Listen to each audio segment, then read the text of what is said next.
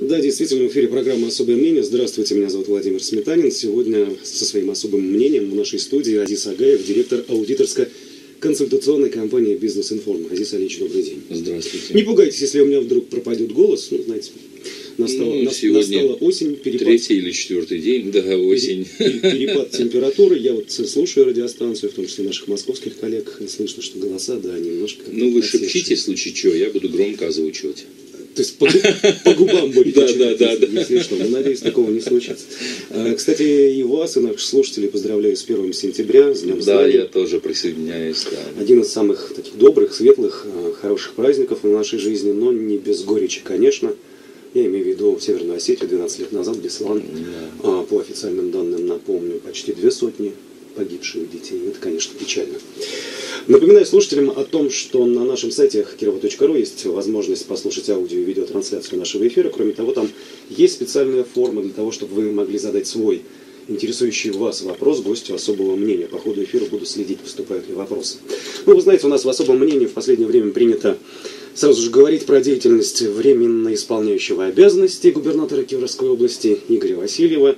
Сегодняшний эфир не исключение, хочу как раз таки с этой темы начать.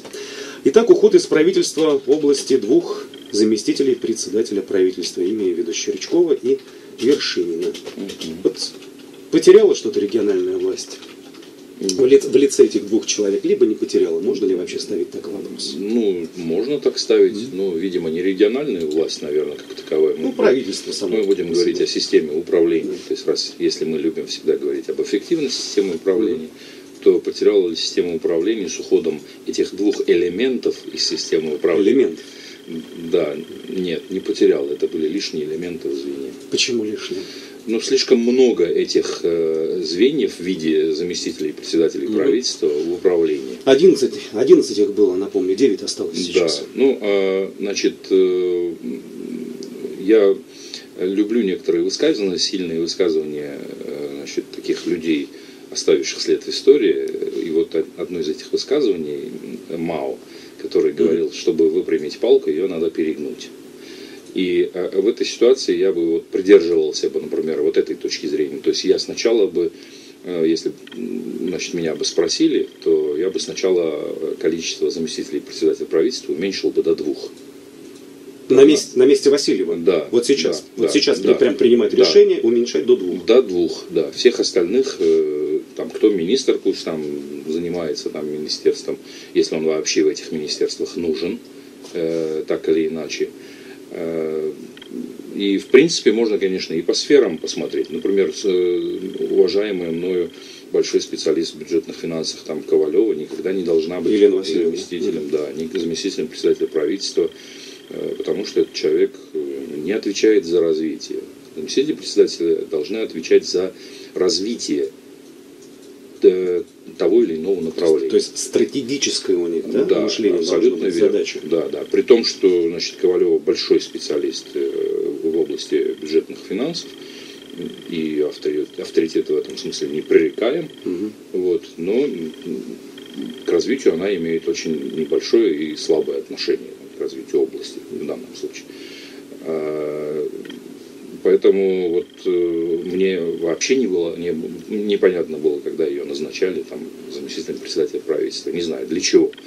Непонятно абсолютно. Пусть она входит в правительство, но зачем ее надо было назначать заместителем председателя? Ну, может, ну, или может быть, там, может или быть, там ува- Может быть, слишком категоричен в отношении Елены Васильевны. Может Кто? быть, ну, Я? может быть, нет. Да, вы. Не, может я, быть, на нее смотрите- дополнительной нагрузки ни- ни- никакой на нее не Ну, стало. я не видел никакой дополнительной нагрузки. Может Просто быть, у них и есть. Я, я ведь, смотрите, не спорю, что они могут привести какие-то аргументы. Там. Или вот уважаемый нами там Борис Веснин, например.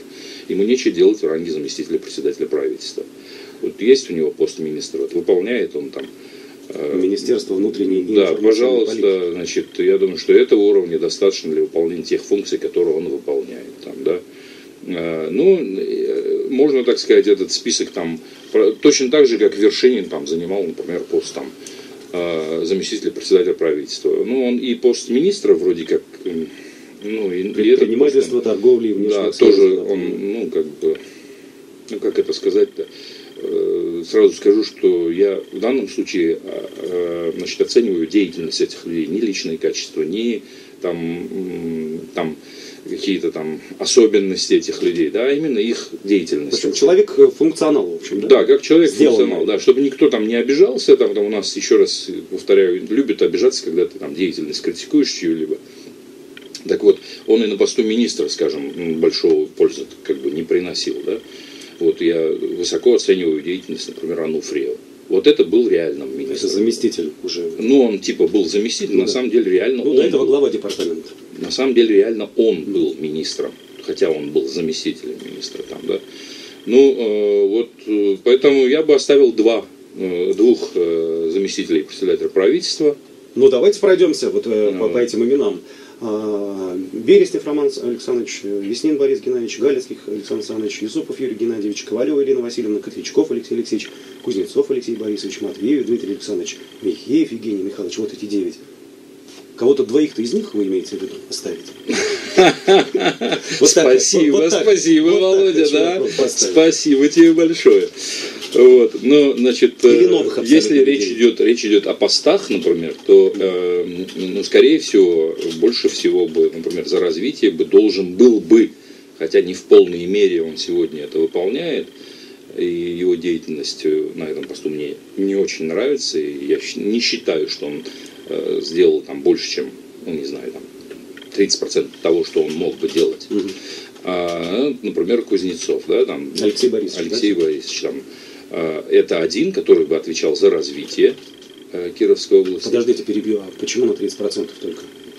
Крылья, что, что называется, Ну, расправили? смотрите, есть такой специалист по управлению, э, значит, американской Деминг, да, он, он говорил, что человек э, несет ответственность за результаты своей деятельности э, только в, в том случае, в когда он находится в достаточно хорошей системе управления. Но, видимо, Алексей Борисович находился в такой системе управления, когда он больше, чем э, значит, 30% м, не то, что не мог, а, видимо, видел какие-то препятствия там, Мгм. своей полезности, там, больше, чем на 30%, там, условно говоря. Вот. А за социальную сферу прекрасно бы отвечал, хотя не знаю, как он себя сейчас чувствует с точки зрения усталости и управления, там, э, Сан Саныч Галицкий. Сан Саныч. Ну Да. Вот э, все остальные, э, значит, То есть, подождите, вы разделили на два, да? Да. Всю эту сфе- систему. социальная сфера и сфера Экономика- развития. Экономика, и развитие, сфера. финансы и социальная Да, сфера. да. А, ну, Все остальные министры а спорт куда? Социальная В сфера, социальную. конечно, конечно. Культуру да. тоже в Да, социальную. Да, образование, социальное. А, пенсионеров тоже в Пенсионеры, социальную. социальная Мгм. Ну, сфера. Ну, в принципе, да, Да. получается нормально. Да, все остальные министры, которые не относятся ни туда, ни сюда, они могут там условно подчиняться либо там губернатору, председателю правительства, либо там, ну, типа управление внутренней политики, там, э, правовое управление, там, Мгм. нотариальное, там, например, Министерство имущественных отношений, это сфера развития, однозначно там, ну и так далее, и так далее. Все идеально ложится в эту схему. И дальше уже, тут единственное, что нужно учитывать и могли бы учитывать, значит, э, только то, насколько способен тот или иной человек, который займет пост заместителя председателя правительства, э, своим м, качествам управленческим управлять определенным э, объемом полномочий, людей и так далее, и так далее. Вот. А Кроме этих людей, которые я назвал, все остальные либо неэффективны и никак не способствуют, то есть от них ни жарко, ни холодно, либо вредны для территории. Этот вывод вы сделали, ну, по прошествии Да, времени, конечно. времени с А я- момента я об этом всегда говорил, момента да, образования этой вообще Да, структуры. там здравоохранение, там еще какие-то, ну, то есть э, однозначно. Слушайте, наверное, нужно было с глупого вопроса вообще начать. Вообще заместители нужны? Глупые вопросы это всегда самые лучшие вопросы. Вот. на самом-то деле. Нужны? А, Есть в них необходимость? Да, мудрецы себя называют очень часто идиотами. Потому что только задавая такой вопрос, ты э, можешь понять, что тебе реально нужно. Заместители, а, конечно, нужны. Нужны. Конечно, нужны. Заместители это ближайшие как бы, помощники, ближайшие соратники, люди, которые в курсе того, что происходит. Они нужны, потому что человеку свойственно болеть, уезжать в командировки, иметь отдых там. И потом э, человек не может во всех сферах быть э, специалистом. Да? Он либо специалист по развитию, либо специалист по социальной сфере, по распределению благ. Мгм. М, Хотя это ведь тоже бизнес. То есть все бизнес. Я имею в виду в общем смысле, не в том смысле, что деньги зарабатывать там на том. Поэтому просто кто-то знает, как это делать, и он проходил целую школу, как это делать, ну, как вот уважаемый мной Сан Саныч, например, там, да, а, и, и делал это, например, всю жизнь, э, в том числе и понимал свои моральные обязательства. А кто-то нет, он, он просто случайно ну, как в песне, мы случайно встретились, случайно расстались. Ну, вот, либо подфартил, либо по каким-то взаимозачетам с кем-то попадает там mm-hmm. на ту или иную там, должность. Чувство долга. Ну, кто-то кому-то что-то был должен и оплатил там предоставлением должности. Ну, это ж, не, это ж неплохо держать слово. Это, или, это не слово или, держать, или, это, э, это, смотрите, это своеобразная торговля должностями. Ты мне, я тебе. Да, но, но неплохо в каком смысле? Неплохо это между собойчики. А когда человек занимает высший пост, то он несет ответственность ведь не только перед тем, кому он должен, или хотя, пусть он перед теми, кому он должен, просто он занимает пост, становится должным всем, кем он управляет и на жизнь, чью он влияет. Это гораздо иной уровень уже, да? И, соответственно, уровень ответственности и понимания должно быть другое. То есть от э, уровня понимания «ты мне, я тебе» он должен уходить. Я так правильно понимаю, что мы сейчас прерываемся да, на небольшую паузу. Пауза. Продолжается программа «Особое мнение». Сегодня мы выслушиваем особое мнение Азиза Агаева, директора аудиторской консультационной компании «Бизнес Информ». Еще про региональное правительство. Информация уже такая не новая. Ее выдало издание «Коммерсант». Оно написало о том, что в планах исполняющего обязанности, временно исполняющего обязанности главы Кировской области разделить должности председателя правительства и губернатора. Угу. Ваша оценка, надо ли это делать? Ну, э, пока не услышал как бы соображений самого губернатора, да, мне сложно оценивать. Ну да, о планах пока да, заявлено. Вот, а, значит, э, вот с, с того места, где нахожусь я, это не кажется самым оптимальным вариантом э, решения. Почему? Потому что но ну, для чего это можно сделать? Да? Вот, э, это можно сделать для того, чтобы снять с себя ответственность за происходящее там, и типа возложить его э, Помните, как царь Константинопольский своего там племянника назначил временно царем, когда там начались э, ну, когда бунты. Неспокойные времена. Да, бунты там. И он пробыл там достаточно короткий срок, потом его замуровали стену. Ну, если это я так помню историю. Вот. А, и он вернулся, значит, э, торжественно. То есть, если для того, чтобы замуровать э, в конечном итоге и значит, председателя правительства, который будет отделено в стену, чтобы самому потом торжественно сказать, что вот я тут это. Ну, ну, с его точки зрения, может быть, это и правильно. С моей точки зрения, это неправильно. То есть э, я не вижу э, понятных целей для разделения. Практического смысла. Практического да? смысла, да. Э, разделение этих целей. То есть мне, для меня губернатор, он всегда несет ответственность независимо от того, э, кем он управляет. Понятно, что председатель правительства – это председатель правительства, а ответственность за все, что происходит на территории региона, несет губернатор. В том числе и лавры, которые значит, э, взрастают, достаются в конечном итоге тоже губернатору.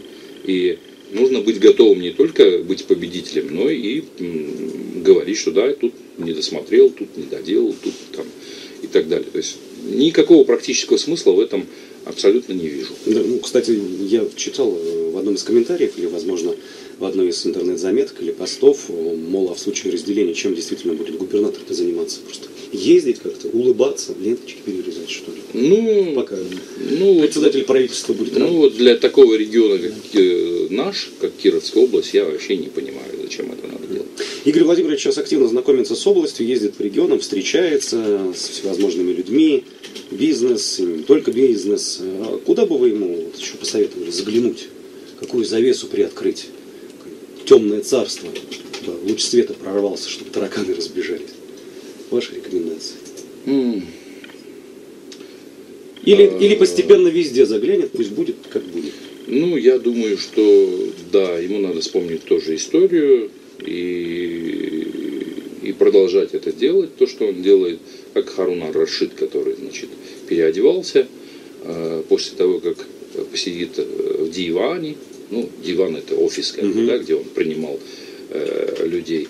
После этого он шел, ужинал, переодевался и выходил в Багдад, чтобы посмотреть, что творится значит, э, у его подданных. Кто что ест, э, кому на что хватает, э, кто как трудится, почему плохо трудится, какие условия бизнеса у него, не надо ли улучшить эти условия. Может, кто-то мешает из значит, чиновников, контролеров, там, предпринять какие-то меры. Ну, то есть, это можно продолжать, но на самом деле все это ручное управление, то, против чего я всегда выступаю. Мне кажется, что... Когда ты сам, да? Когда ты сам, да. Мне кажется, что Игорю Туда Владимировичу нужно думать о построении такой системы управления, когда он действительно может, как Харна Рашид, просто ходить и смотреть, как система работает и нет ли в системе системных ошибок, чтобы их исправлять.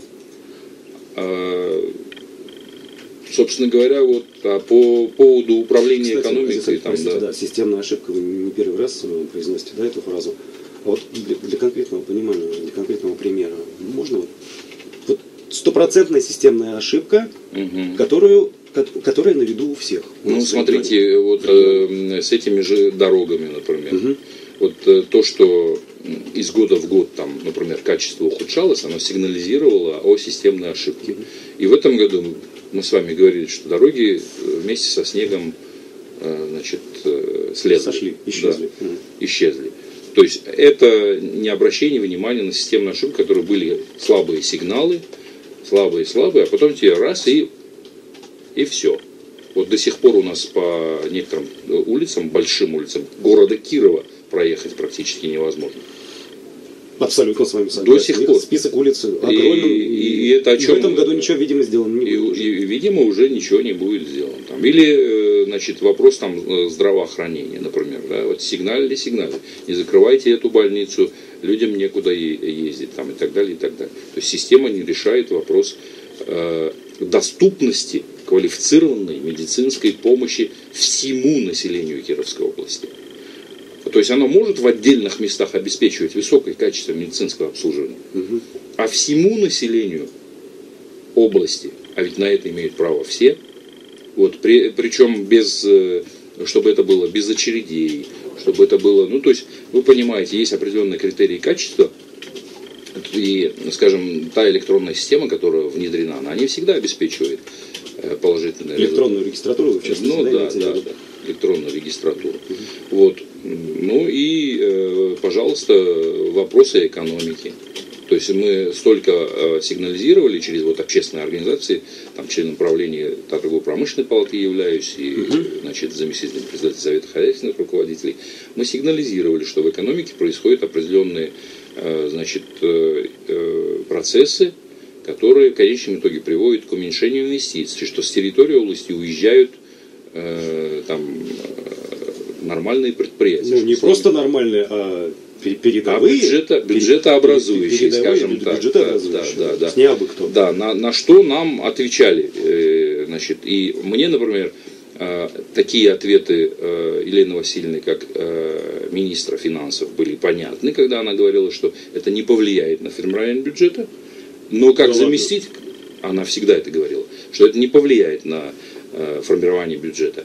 А вот и такой ответ из ее уст, как от заместителя председателя правительства, мне всегда были непонятны. То есть это как раз говорило о том, что этот человек министр финансов, но никак не заместитель председателя правительства, понимаете?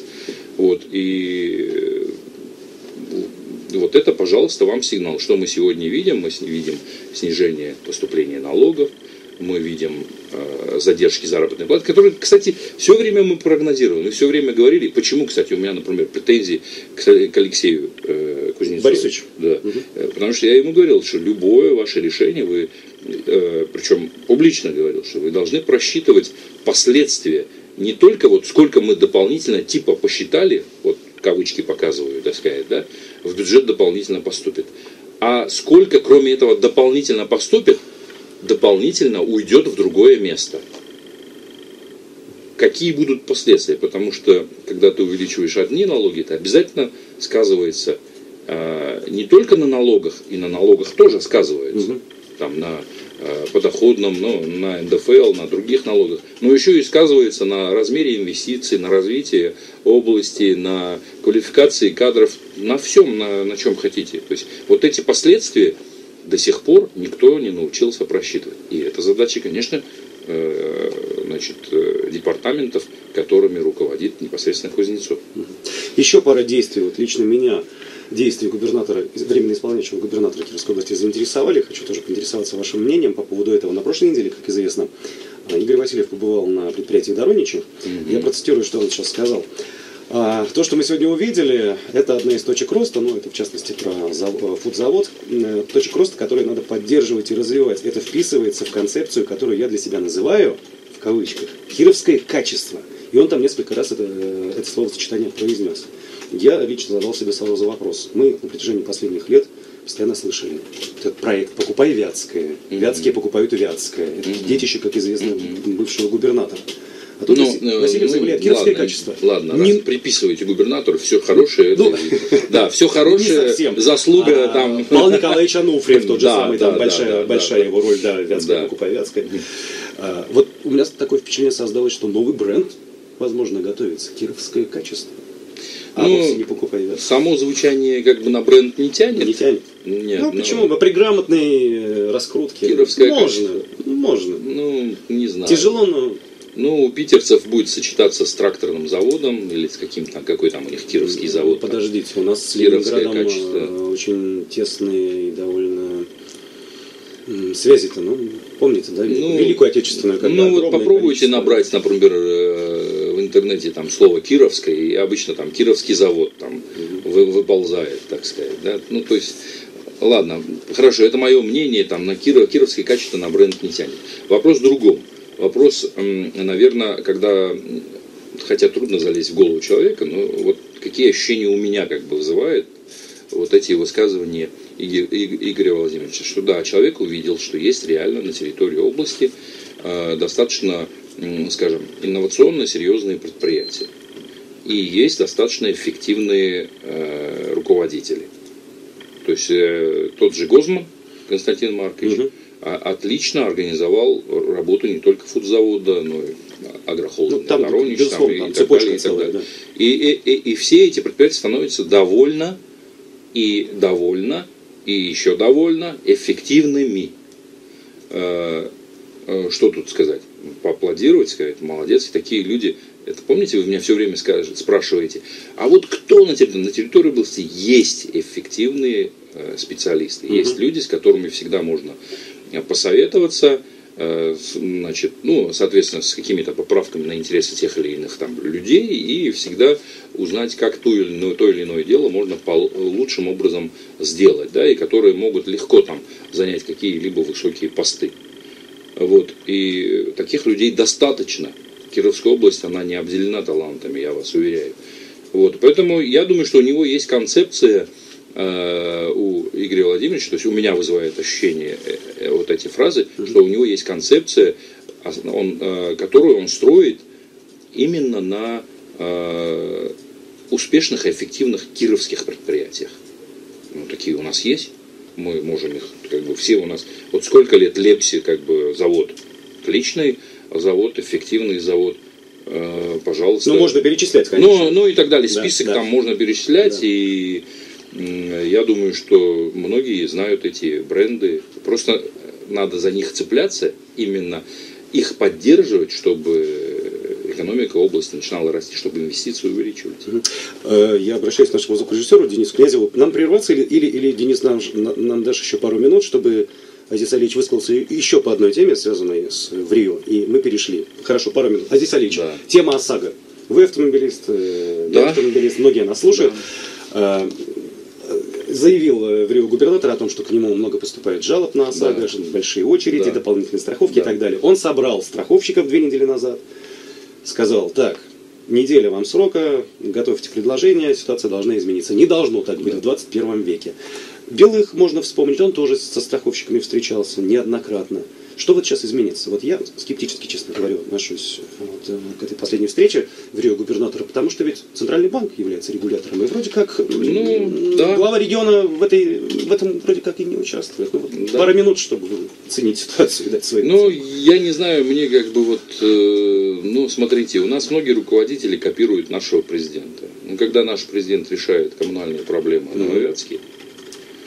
Ну, мы помним, о чем Почему бы Игорю Владимировичу не решить, значит, там... Проблему Да, десятков тысяч да. автомобилистов. Да, поэтому, ну вот он вот пытается, ну что, не знаю, сказать, что это пиар-компания, ну вроде как не знаю, я его не знаю пока, но это какие-то первые шаги оценивать вот таким образом там. Но а, что бы я сделал в этой ситуации? То есть я бы не стал там журналистом еще кому-то, а попытался снова выстроить такую систему вместе с Центробанком, вместе с э, антимонопольным, э, значит, с антимонопольной службой и вместе с судами и с прокурорами. Таким образом, чтобы страховщикам мало не показалось делать вот такие вещи. То есть пару раз задокументировать, Третий раз по-хорошему задокументировать эти правонарушения, фактически это является правонарушениями, угу. и затем предоставить Центробанку достаточно аргументов для серьезных санкций относительно этой страховой компании. Все можно в рамках законодательства делать. Должен ли этим губернатор заниматься? А вот у него полно министров, которые просто так занимают там свои посты и за правовые вопросы некоторые отвечают. А пусть занимается. Вот это говорит о том, что, например, вот эта система управляющая – она действует неправильно. Там есть люди, которые должны этим заниматься, и в сферу ответственности которых это входит, но они этим не занимаются. И приходится этим заниматься губернатору. Должен этим губернатор заниматься? В моем глубоком нет. Он должен э, организовать дело так, чтобы появились плоды, а потом пожинать плоды. То есть в момент, когда вопрос не решен, я считаю, что это ошибка для губернатора вмешиваться в эту ситуацию. Губернатор должен сказать, как решить людям, чтобы люди пошли и решили, и после того, когда вопрос будет решен, губернатор должен прийти и сказать, ну вот видите, вы тут значит, говорили, у вас есть такая проблема, вот не прошло и двух недель или там двух месяцев, как я ее решил, идите все, это самое, получайте свои полисы без проблем. Алексей Ильич, еще один короткий вопрос и короткий да. ответ. Если Игорь Владимирович лично вам предложит э, как, каким-то образом посотрудничать, вы ответите два? Да? Ответите для, меня, для меня не существует проблем. Э, значит, Шаклейн, Белых, я много раз говорил, что несмотря на то, что я критиковал как бы, деятельность э, Никиты Юрьевича, э, я говорил, что на благо региона, если ко мне будут вопросы и просьбы там посотрудничать, помочь там и, и там поработать в какой-то там системе там для ну, для того, ну, чтобы применить оптимизировать. Знания, опыт, да, да, да, Пожалуйста, на благо региона, э, значит, э, всегда буду присутствовать, всегда буду рассказывать свое видение, обсуждать, дискутировать и предлагать конкретные меры. Рекламу у нас сейчас, скоро продолжим. Продолжается программа «Особое мнение». Сегодня вы слушаете «Особое мнение» Азиза Агаева, директора аудиторской консультационной компании «Бизнес-информ». Предлагаю про День знаний все-таки поговорить. Все-таки прямое отношение к нему имеете. Да, с праздником еще раз всех. А, по первому образованию Азиз Алиевич педагог. Да. Я, кстати, тоже. Преподаватель русского языка и литературы. Да, да. А, новый министр образования у нас Ольга Юрьевна Васильевна, 56 лет, религиовед, доктор исторических наук. А, в тот день назначения, по-моему, да, 19 августа, она сразу же сказала, что главный приоритет для нее – это учитель и педагог, это служение этой великой работе.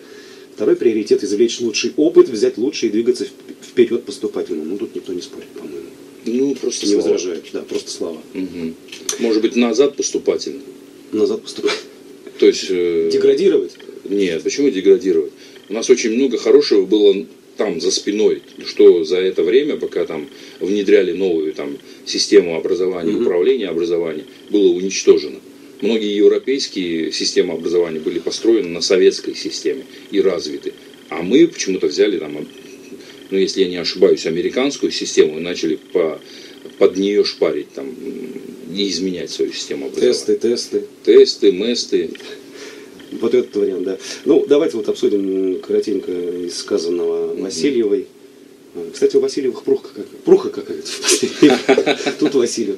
Тут Васильев. Э, заявила новый Минобр на прошедшем позавчера общероссийском родительском собрании. В школах будет возрождаться общественно полезный труд учеников. Например, это уборка класса, школы, иные подсобные работы, труд, на, труд на пришкольном участке, причем без согласия родителей. Вот э, Честно говоря, для меня, конечно, дикость, э, что в настоящее время дети даже сами доску-то не моют. Или моют? Нет. Не моют? Нет. И полы тоже не моют Нет. в классах. Чем, кстати, я с удовольствием занимался. Нет, не моют. Особенно, когда ты дежурил, а другие учились в это да, время. Да. Ну как вам? Надо, надо учеников-то заставлять школьников? Смотрите, вот э, мне не нравится оторванность от общей концепции как бы, развития вот, э, ребенка. Да? Угу.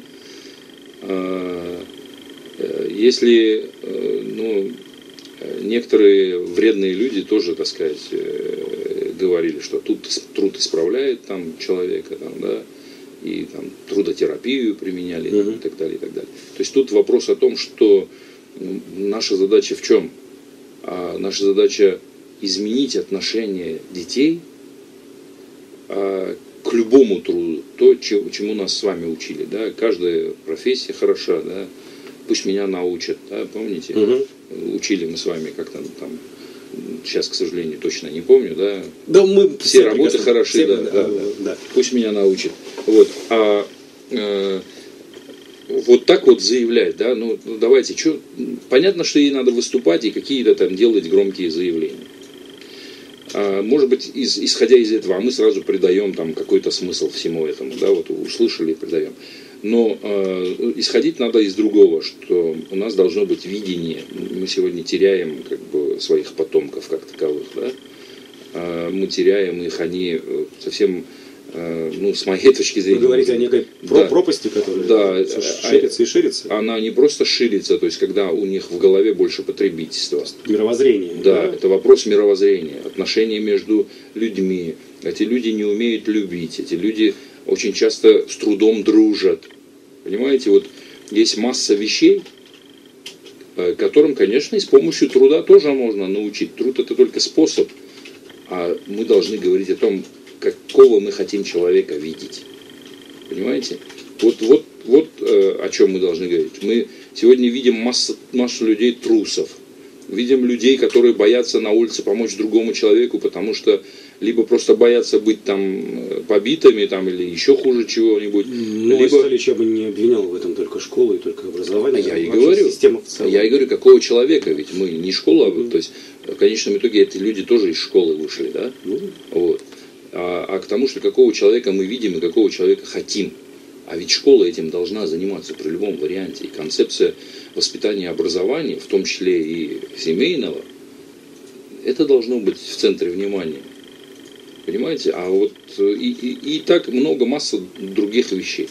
Если мы будем и дальше говорить, что нам нужно, нужны там, люди недалекие для того, чтобы они просто голосовали за тех, за которых вот поагитировали, там, да, и кто этот человек, э, вор бывший, э, значит, укравший, но не попавший, или там, э, значит, там, успешный бизнесмен, или наоборот, там, бывший бандит, там, или наоборот, там, чиновник, который много сделал плохого для страны, а теперь э, избирается там, да, то понятно, что это одна концепция. А другая концепция, мы творческих, способных э, к смелости людей воспитывать, умных, думающих, которые не будут просто тупо верить призывам, э, значит, там, с каких-то средств массовой информации, да, свое суждение складывать. Это другая концепция. А вот что вы поняли из концепции, э, вот из того, что Васильев сказал? А ничего я не понял. Просто слова. ну, эмоционально. Эмоционально Да, вроде да, так хорошо, вроде Да, так крепко. О, о, о, вот молодец, я поаплодирую ей сейчас, что нам надо вперед. Куда вперед? А я иногда думаю, наверное, надо назад. Когда у людей воспитывалась любовь к родине, когда человеку стыдно было красть там из э, общественной казны значит, э, деньги, когда ему любой мог плюнуть в глаза и сказать, ты вот зарабатываешь столько, например, да, а поработал там э, главой какого-нибудь там города или района, например. А посмотри, ты себе что построил. А у тебя ведь нет таких денег. Откуда ты это построил? Или как ты можешь ездить на каком автомобиле, когда люди по дорогам не могут пешком ходить? Ходи пешком. И такие люди у нас были. Я вот Михеева вспоминаю, который на работу ходил все время пешком. Анджей? Анжели Михеев. Мгм, мгм. Царство ему небесное. Мгм. И такие люди были, есть и будут, я думаю, еще. Но чтобы их увеличивалось количество, нужно правильную систему образования построить. Поэтому я пока Васильевой ну, не верю. А про ЕГЭ? ЕГЭ она собралась реформировать. Например, уже в этом учебном году, то есть осенью следующего года, в итоговом испытании по русскому языку и литературе девятиклассники будут эм, каким-то образом устно сдавать Опять, экзамен. опять ЕГЭ. Вот опять Давайте да? концептуально, Да. концептуально решим. Мы чего хотим? Если ЕГЭ остается, зубрение будет. Значит, Да, люди я- будут... Она еще сказала о том, что я против того, чтобы натаскивали Ну а как, ЕГЭ. как против, если у тебя есть ЕГЭ и люди без ЕГЭ никто? Как-то его надо сдавать. Как-то его надо сдавать, они будут продолжать зубрить. То есть, смотрите, можно людей э, мы пошли по дурацкому пути. Мы начали учить людей э, типа запоминать много информации. Но память не бесконечная человек. Как флешка, да? Как, да, э, как флешка. Как носитель памяти. Да. А, а нас в советской школе учили как раз другому. Нас учили находить и синтезировать знания. Конечно, и память у нас была развита, потому что для того, чтобы находить и синтезировать знания, в голове какие-то знания должны быть. Понимаете? А сейчас совсем другой подход. Я, я считаю, что правильная концепция... Ну, в советском да. образовании ну, не у всех получалось. Но у кого получалось, тот да. двигался, согласитесь. Да. Вот, потому что у каждого ведь при, все, при всеобщей равен, при всеобщем, э, при всеобщей при общем равенстве да. Э, у каждого все равно есть свои пределы. Согласитесь. Да, это зависит от личности вот. человека. И, и мы же не отрицали это. Поэтому есть масса вопросов. Нужно менять систему концептуально. А один элемент системы, даже будучи руководителем, еще непонятно его убеждение и его понимание ситуации. Ну пусть доктор наук. Я думаю, что несложно стать доктором наук при желании, если ты потратишь на это определенное время своей жизни. Каждый может стать доктором наук. Ну, просто надо цели себе определить. Ну и что? Не вижу пока концептуальных подходов и концептуальных высказываний. Не вижу. Ну, а сильно-то и не слежу, честно говоря. Мне ведь всегда могут сказать, «А ты ведь и не знаешь, и не видел. Да, ну не знаю и не видел. До меня не доведены эти концептуальные подходы. Завершается время программы «Особое мнение». Особое мнение Азиза Агаева, директора аудиторской консультационной компании «Бизнес Информ». Тему образования мы с вами, кстати, завтра продолжим в программе уже «Союз нерушимый» в 13.00. Ну, да, да, завтра будем встречаться. С национальным так, оттенком. оттенком да, темы образования. Да, да, да. Так что слушайте нас завтра в 13. Всего доброго. Всем до свидания, с праздником всех.